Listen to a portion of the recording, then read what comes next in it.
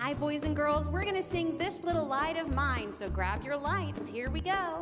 This little light of mine, I'm going to let it shine.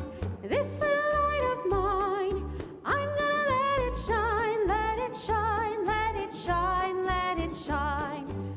All right, can you take your other hand? You're going to cover your light, and we're going to sing Hide It Under a Bushel, and you get to yell as loud as you can. I want to hear you yell, No! And you're going to uncover it. Are you ready? Let's try it. Here we go. Hide it under a bushel. Hide it under a bushel. No,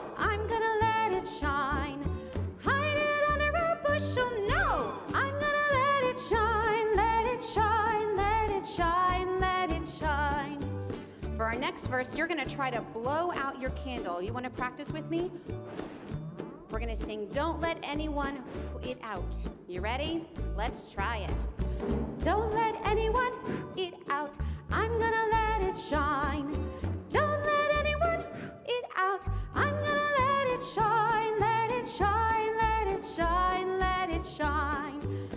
right, for our next verse, you're gonna take your imaginary candle here, your light. You're gonna make a big circle. We're gonna shine it all around the neighborhood.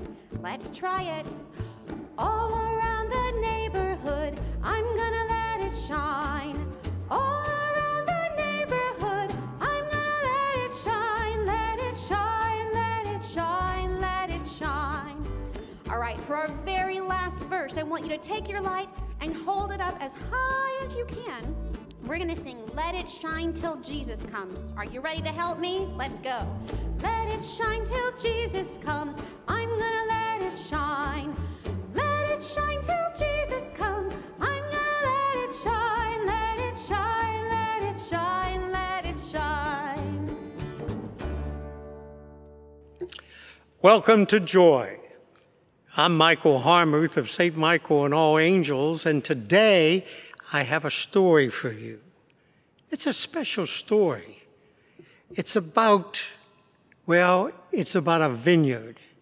And a vineyard is where they grow grapes. Well, today as we begin, we see animals, the horse and a couple animals going through the vineyard, and the landowner who owned this vineyard had animals also, and they would gather around, and I suspect as some of the grapes fell, they probably ate them.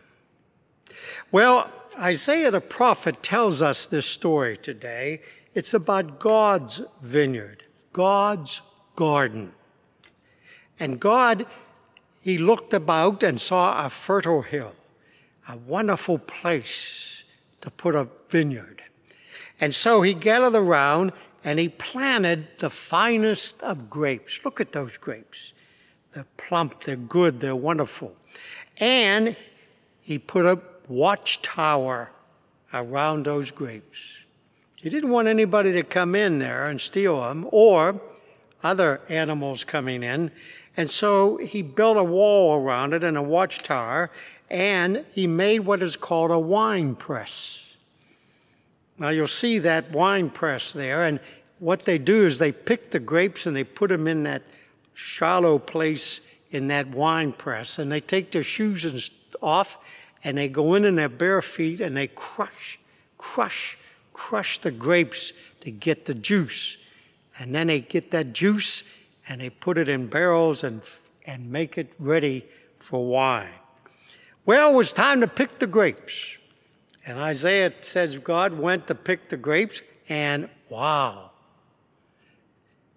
all the grapes were sour grapes. Why?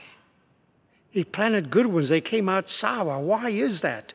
He was so disappointed that he tore down the hedge of the vineyard. And after he did that, he tore down the wall of the vineyard. And then he let the wild animals in, and they came in and destroyed it. And he let the dandelions and that grow up and destroy the vines. And why? Isaiah says the grapes represent the people of God. And the people of God are expected to be good grapes, good people. but it turned out they were sour grapes, people who didn't respect God. And so God was very disappointed in the people.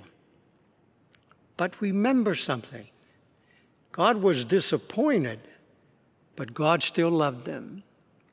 It's like us. When we do things contrary to God's law, God is disappointed in us, but He still loves us, and He's very, very merciful. Join me now as we say the Lord's Prayer, and in that prayer, we ask God to forgive us our trespasses as we forgive those who trespass against us. In other words, we ask God to be merciful to us. Join me now. Our Father, who art in heaven, hallowed be thy name. Thy kingdom come, thy will be done, on earth as it is in heaven. Give us this day our daily bread, and forgive us our trespasses, as we forgive those who trespass against us. And lead us not into temptation, but deliver us from evil. For thine is the kingdom, and the power, and the glory, forever and ever. Amen.